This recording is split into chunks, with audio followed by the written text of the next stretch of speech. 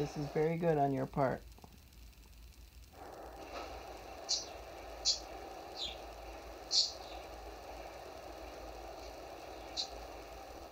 I can feel him thinking about it. That's perfect.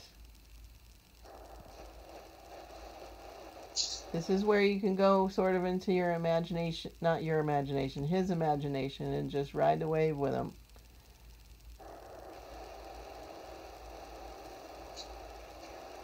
Still waiting for two, right? Yeah. You think he's starting to get it? Oh no, he's way past starting to get it. He's got it. He's he's into recovery.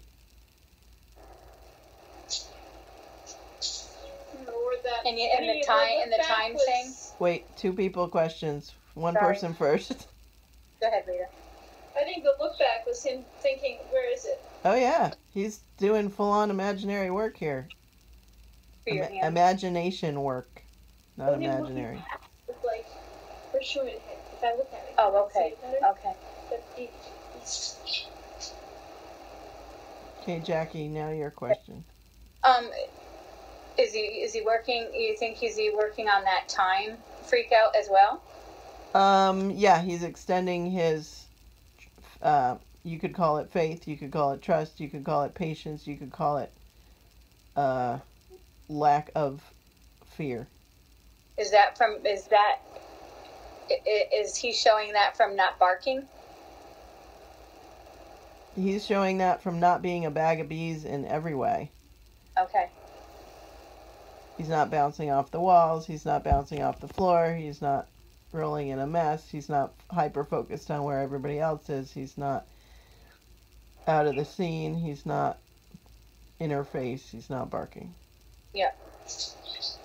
He's doing math.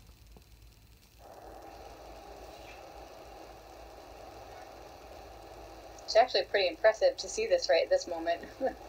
Isn't it? yes.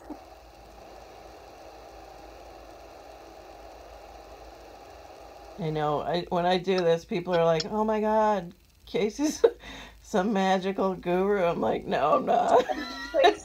They're like, "Wow, you must really love dogs." I'm like, "No, not really." Uh, and any animal, whatever. It's just another brain.